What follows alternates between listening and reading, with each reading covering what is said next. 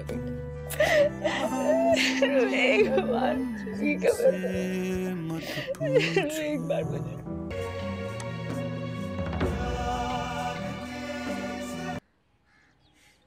अच्छा वैसे कभी कभी मैं सोचती हूँ ऐसा लगता है कि ये सब कुछ जो हो रहा है ना असल में नहीं है। हकीकत नहीं, कोई फ़िल्म चल रही है। तुम्हें भी ऐसा लगता है? तेरे बिन ड्रामे में मीरब इतनी बड़ी बेवकूफ़ी कर जाएगी, मुर्तसिम को अंदाज़ा नहीं था। मलिक ज़ुबैर के साथ ही उसकी बहन को भगा दिया। अब मलिक ज़ुबैर जो चाहता था, वो तो उसने पूरा कर लिया है। अपनी बेजती का बदला क्या खूब लिया है।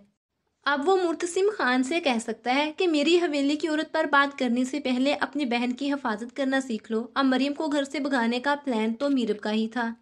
इसलिए माँ बेगम भी मुर्तसिम से कहेगी, जिस लड़की से हवेली की इज़्ज़त नहीं रखी गई, उसे मेरी बहू रहने का कोई हक नहीं है। हया जो चाहती थी, वो भी उसमें कामयाब हो चुकी है। मीरब को मुर्तसिम के दिल से निकाल कर दूर फेंक दिया।